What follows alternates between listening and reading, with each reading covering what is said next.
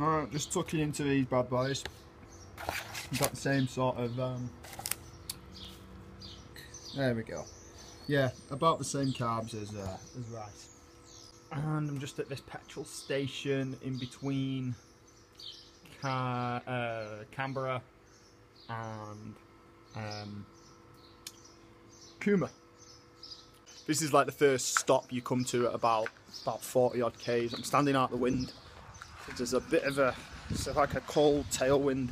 I've been hooking along uh, 47 k's from uh, from the from pretty much the centre of uh, Canberra, staying with uh, a warm showers.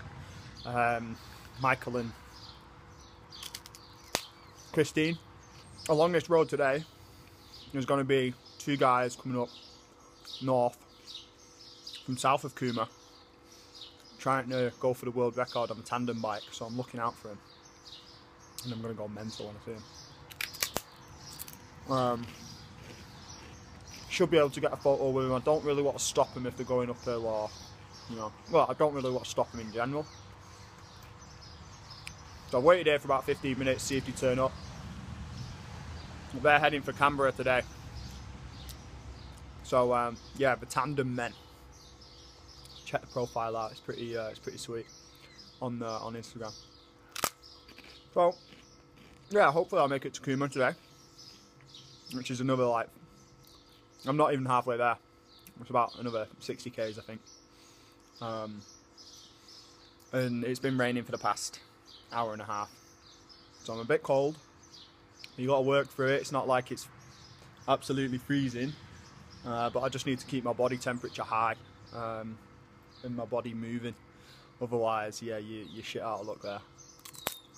And I'm stocked up for the next week. I head over to Jindabyne, Jindabyne Lake, and um, well, dam, whatever it is. Do a few loops around there, go up, up the hill towards Kosciuszko, um, and then take the Alpine Way towards Bright where I should be able to meet up with a friend um, who's going to be taking part in a race. There's going to be a bunch of vegans there. It's going to be fucking sick. So, looking forward to that. And I hear it's pissing down in, in Manchester. As per. Yeah, Canberra, great city for uh, for cycling in, for sure. Um, just so easy to get around. Um, the the city by by bike. So many bike lanes. A um, lot of green open spaces. Not a huge population, so it didn't seem too busy, but the city centre was alright. Um,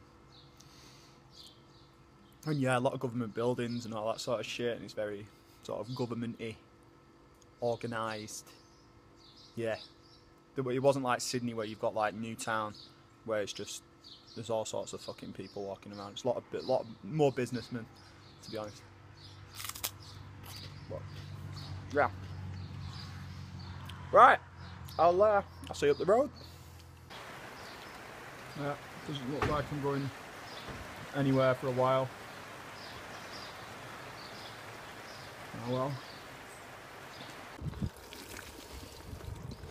Rain stopped. Hey, hey cows. Uh-huh. Into the event. See you later, guys. Good luck. Yes, the number plate. Brilliant. Oh fuck. so those boys, fuck, they've come from uh, from England. One's from Norfolk. I think they went to uni in Kent. But check the website out pop the website up on the uh, on the links below. Hopefully, you know we're still riding by the time this video goes up. Uh, I've had a bit of a bit of a weird day. Uh, piss wet through, but I've covered a lot of ground. Um, man, the stories those guys must have is just incredible. Um, yeah, they looked pretty beat, if I'm honest. so George, John, if you ever see this, Wow, you are you're doing really fucking well. Um, and yeah, I think I think the well they're, setting a, a, a world record basically. They've just got to stick by the Guinness World Record uh, rules, and they're probably the first blokes to do it on a tandem bike, go circumnavigation. Um, maybe something I'd not, I, I wouldn't really want to do something like that after watching Mark Beaumont suffer uh, the way he did.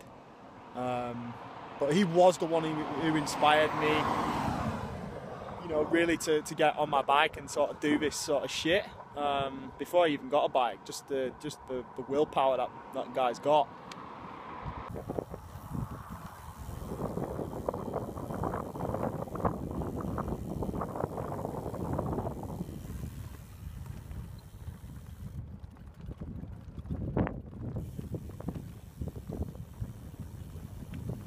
See you later, guys. Good luck. Yes, the number plate. Brilliant.